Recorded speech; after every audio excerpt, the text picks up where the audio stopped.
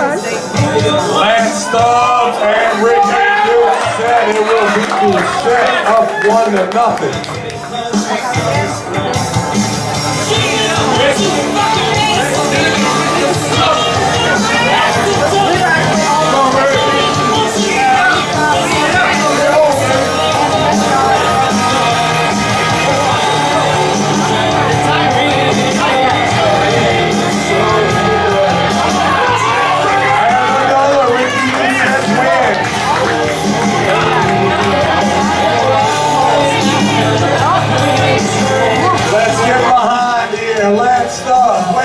We need one here. It looks like the Louisiana West team well in control of this matchup. Two to